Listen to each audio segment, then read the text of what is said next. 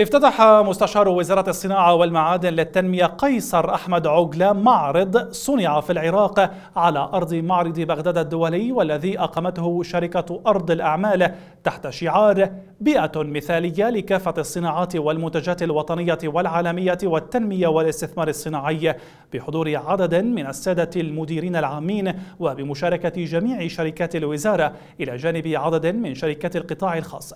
وقال المستشار في تصريح صحفي أن الوزارة وضعت خططا تنسجم مع البرنامج الحكومي والورقة البيضاء لإعادة تأهيل الصناعة العراقية تتضمن إقامة المعارض وورش العمل والمشاركة مع القطاع الخاص والوزارات الداعمة ذات النشاط المشابه لنشاط وزارة الصناعة والمعادن بالإضافة إلى مؤسسات صناعية عربية وإقليمية ودولية لإظهار وإرسال رسائل إيجابية عن وجود بيئة جاذبة للاستثمار في العراق.